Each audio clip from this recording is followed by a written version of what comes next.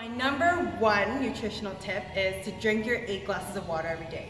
The reason why is because it keeps your digestive system flowing and it keeps your skin looking healthy and young.